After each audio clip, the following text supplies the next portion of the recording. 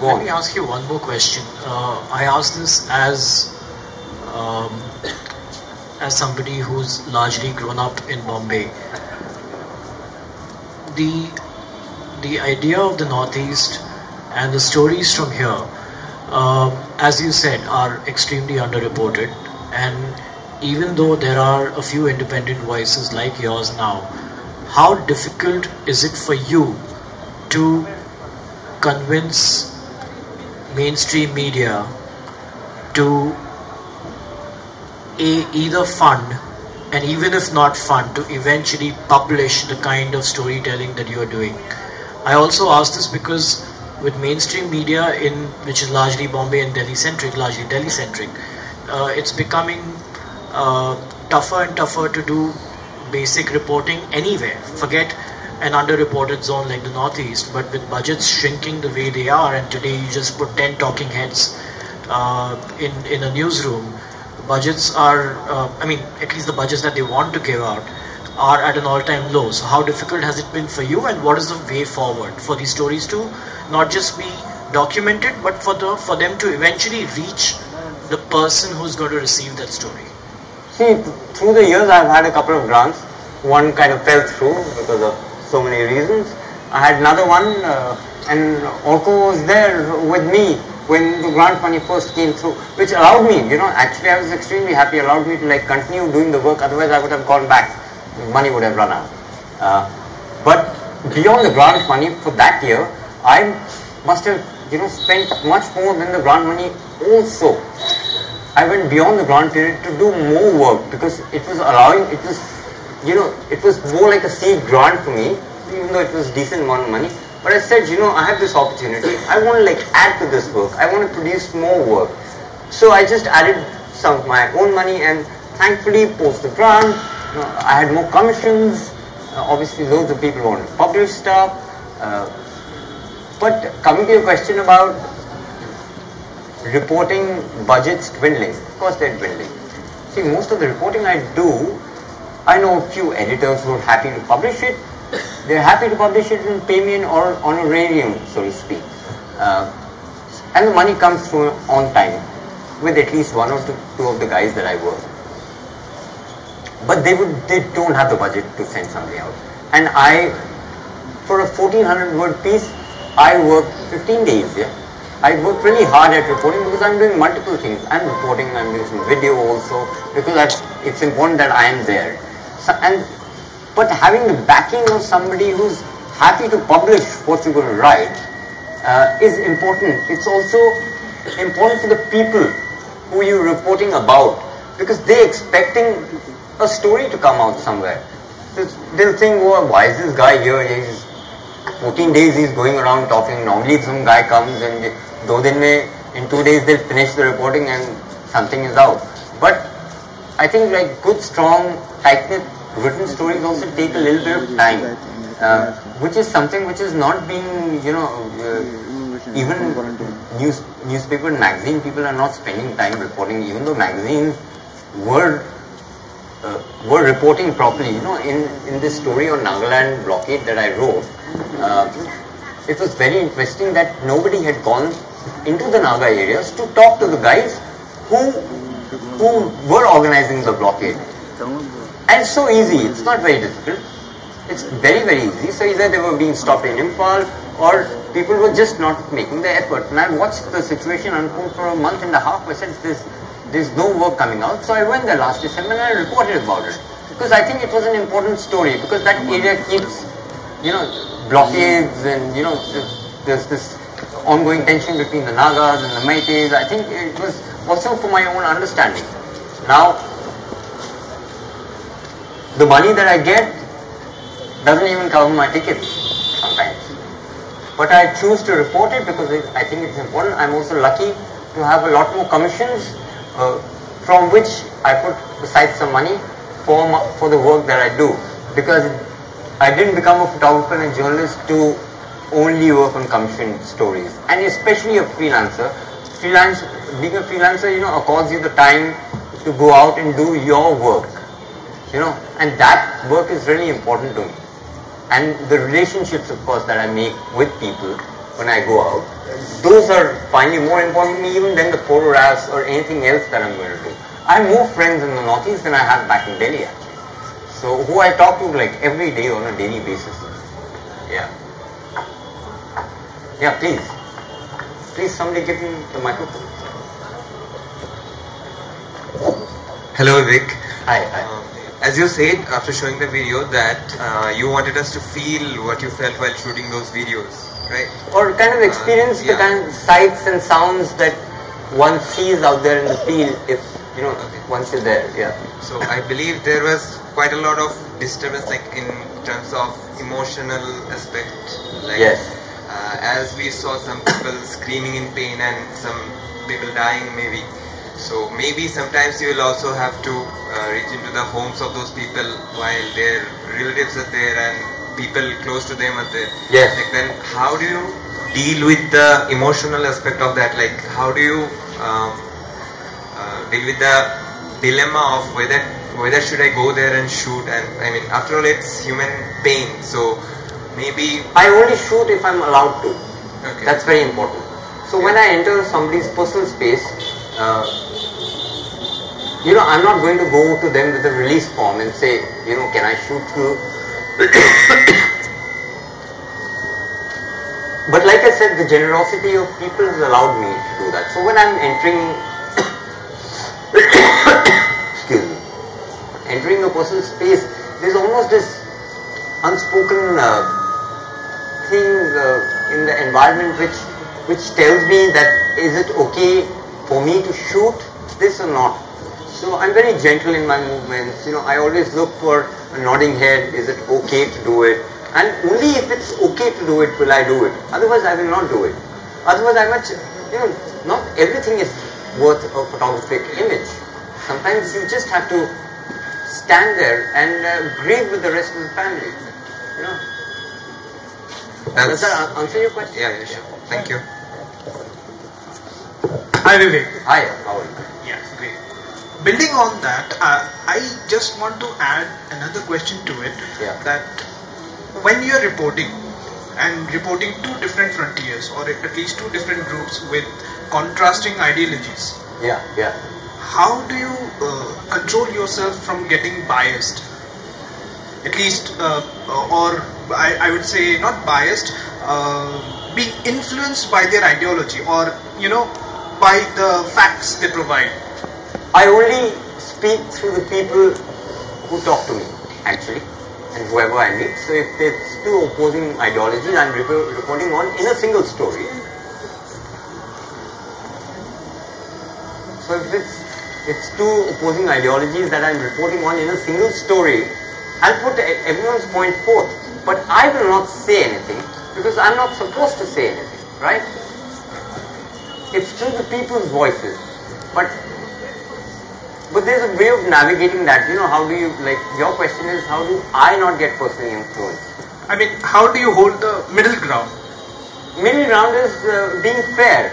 You should be fair, I think, and in fair in the way you report. So if I'm going to like talk about a situation in Churachandpur from a Kuki voice and from a Zo voice, then I'll talk to both people, and they'll tell me, and they'll tell me because I'm a reporter, and there's great privilege in being a reporter. Everyone talks to a reporter. So a politician will talk to a reporter. Somebody selling peanuts will talk to a reporter. Uh, you have access to, uh, you know, rebel factions will talk to you. Uh, in the government, you, people will talk to you. Bureaucrats will talk to you. Army guys will talk to you. Uh, you know, all kinds of people will talk to you. So you have that luxury. Uh, like I said, but you must leave your prejudices behind. It is so important, especially when you're reporting in an area that you have little or no knowledge about. Because how much ever you read, the customs, everything, you know, so you have to kind of try and blend in and be kind to people. Always be kind to people and they'll be kind back to you they'll help you report in any area, I think. In any area. People really take care of you. I've, I'm here today only because I was taken care of you know, by the people who I report, who I was reporting about mostly. So I really hand that down to everyone in the Northeast, extremely hospitable that way.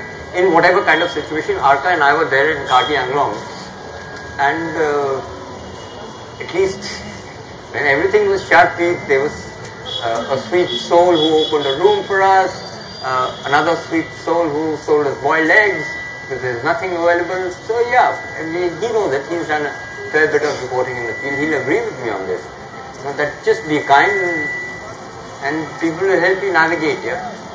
Of course, you'll have disagreements over things, but you learn to write them over. You know, and continue doing the work that you do. And try to be truthful. Yeah, truth is sacred. I think. So, yeah. Thanks a lot, man.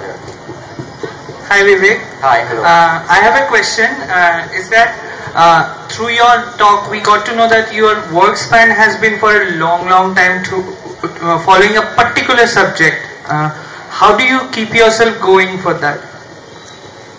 I initially said, you know, first I was I went looking for the story, right? But then the story pulls you in, and I, if you think it's it's an ongoing crisis that's not going to resolve itself in some time, I think it's the, journalist's responsibility also, as it should be for all media, uh, to follow stories, to not let people forget, you know, and to go back and report when people start to forget about it, right?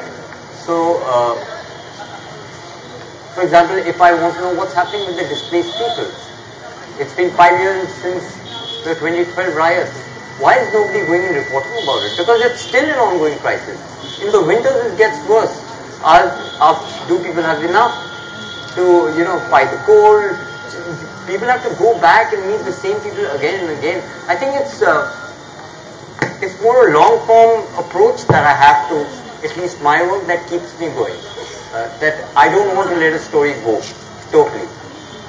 Because you have to keep going through, through hook or by crook. You have to like if you low on money, you find a way of you know funding yourself to go and do this because it's important, you know. And it's, and, I feel that responsibility, and that's why that's what keeps me going for years and years. Yeah. Thank you. Hi Vivek. Uh, before I ask you the question, I just wanted you to know something about uh, like what kind of a person I am and why I am asking you that question.